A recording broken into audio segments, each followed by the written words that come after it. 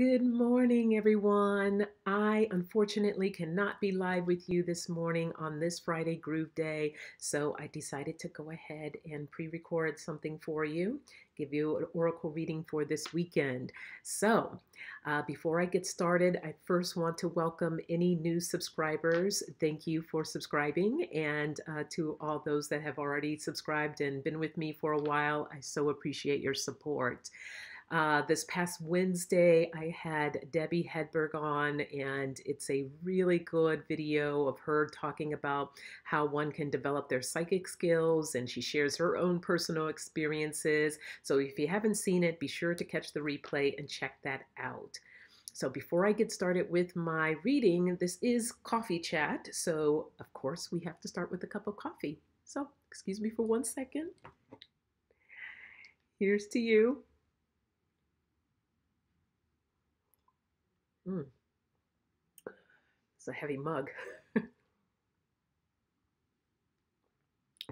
All right, so let's get started.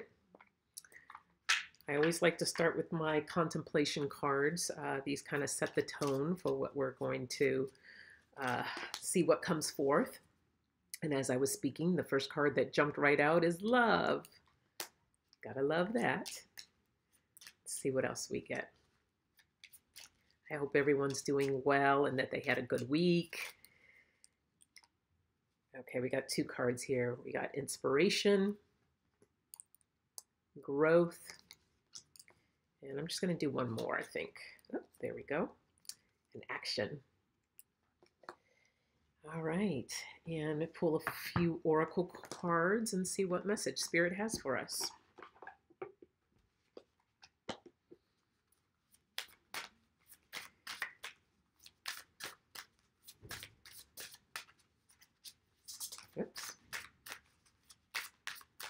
These cards shuffle really nice. Some of them are a little stiff and it makes it a little more challenging. All right. We have solitary, uh, solitude. Let me see, how do you, solitarianess. That's a tongue twister. And we have groundedness, gravity. And growth. Okay, which we also got that here. Okay, so the message that Spirit is uh, talking about here, this is more directed towards you, um, showing love towards yourself. So if there's some of you out there haven't been paying enough attention to yourself. Sometimes we have the um, the ability, or we get into that habit of taking care of everyone else around us, and we forget about ourselves sometimes. So, if that's your case, uh, make sure you take some time out for yourself. Show yourself some love. Uh, getting into that place of, of solitude, taking some quiet time for yourself. Okay, that quiet time is going to allow you to get grounded, um, this is the, the action that's needed right now. And when you're in that place of, of solitude and getting grounded, that's where the inspiration comes from.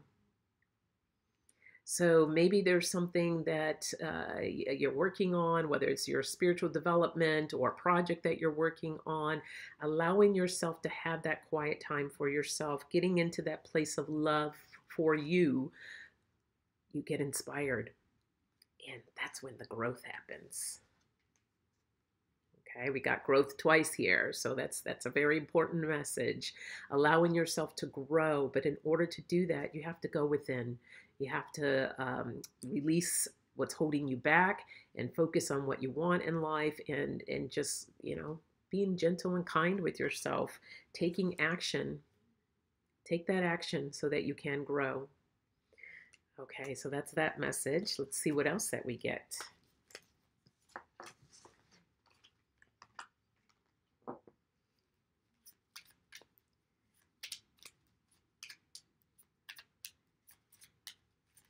Oh, there we go. Got the word respect. Acceptance and community. Let me get one more.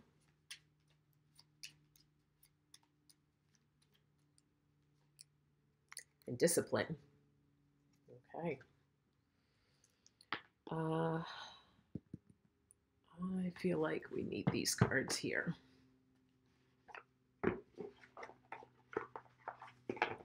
let's see what message comes out.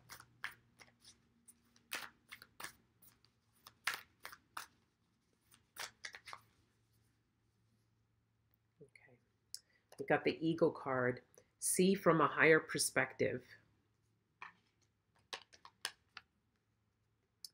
And winter, take care of your needs. And the heart guardian, love and let yourself be loved. Okay, here we go. The message continues from the first one that we just did. This is a time of you bringing in that acceptance for yourself. All right? Bringing that acceptance because it's time for you to take care of your needs. Okay, Spirit's being very clear that uh, it's it's discipline. Get some dis- discipline for yourself.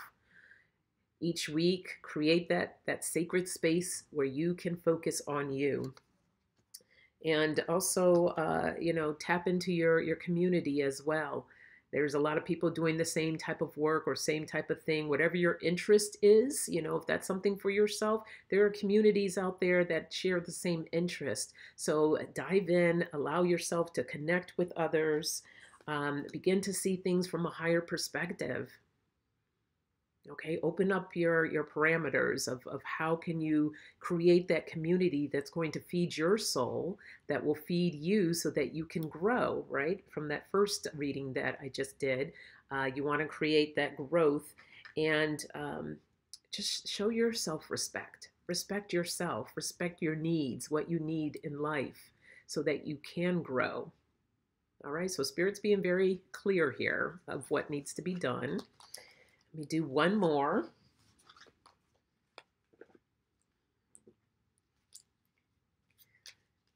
Let's see what our last message is going to be. Yep. Okay, we got the word knowledge.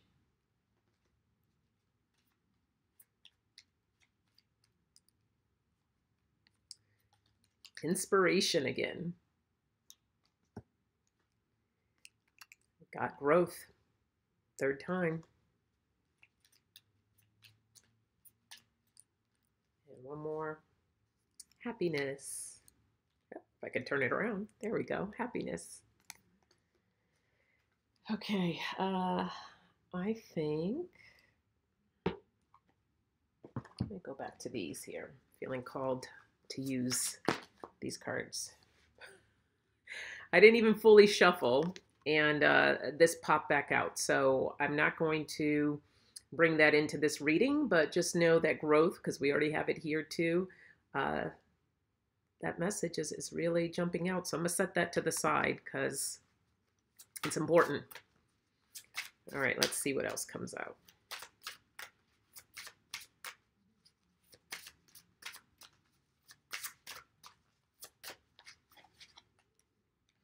Okay. We got attraction, magnetism. We got darkness, the moon card. And we got richness, marine life. Okay. Okay, so again, this is all feeding into the previous two readings that I just did. Um, when you find yourself in the dark, in the moon, the moon is based all around emotions. So as you can tell, she's moving into the, let me do this the right way. she's moving into the light here. So if you're feeling in a really dark place right now, this is, again, you see how she's kind of holding herself. That's the love for herself, going inwards, taking care of your needs, what you need, so you can move from the dark into the light. Um, gaining knowledge of whatever that means for you. What is going to create that happiness that you need? What's going to lead you to be inspired? okay because once you get inspired and you're creating that love and you're you're moving forward uh, towards the path and the life that you want to create the goals you want to accomplish, that's when you're going to start attracting and, and magnetizing these things towards you. But you have to get yourself aligned in that, uh, in, in, in love, allowing yourself to love and to be loved.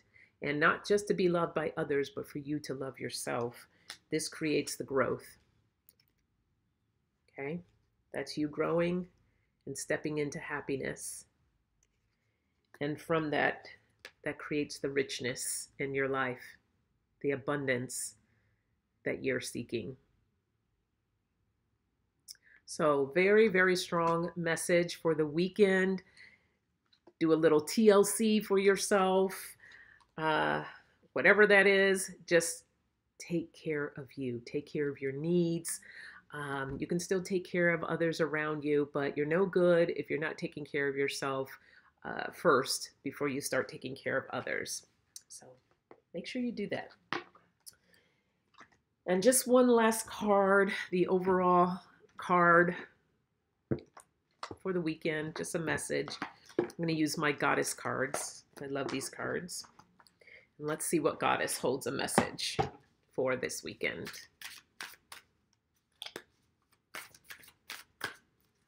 What goddess would like to bring in a message? Oh, here we go. Perfect. Look what we got, guys. Love. All right. Aphrodite. And let's see what she has to say. And of course, I didn't bring my glasses over here.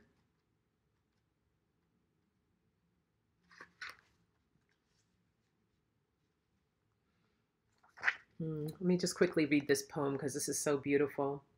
When I open my heart, I am filled with delight so profound with ecstasy, so sweet with pleasure, so deep the connecting with my beloved takes me to all the places and the union. Is that union? Sorry. Okay. Uh, let me try that again. When I open my heart, I am filled with delight so profound with ecstasy, ecstasy, so sweet with pleasure, so deep the connecting with my beloved takes me to all the places, and the union plays rhapsodies in my soul. I can achieve union when I achieve oneness with myself. I can dance partnership when I dance alone. I can love another when I can love myself. Okay. We just talked about that, and that was in the reading. So beautiful. So um, it says here Aphrodite is here with her dance of love, inviting you to uh, luxur- uh, luxuriousness, bask, and revel in love for yourself. Do you spend the day without thinking or saying how much you love yourself? Do you do little loving things for yourself? Or are you miserably keeping yourself on a diet of starvation rations? Do you listen to your needs in a loving, respectful way? Or do you criticize yourself for balking at the schedule you keep, for complaining about the job you hate, for bemoaning the relationship you endure? Now is the time to love yourself. Aphrodite says that to be able to love another, you must be able to love yourself. Loving others mean being able to allow them to be exactly as they are. It means witnessing yourself and your loved ones with love, amusement, and delight. The amount of space we can allow another is dependent on the amount of space we can allow for ourselves. Wholeness is achieved when we can hold infinite space and patience for ourselves first and then extend it to others. All right, I struggled a little bit because I don't have my glasses on, but that is the message that you are to take into this weekend. Take uh, take care of yourself, love yourself, be gentle with yourself.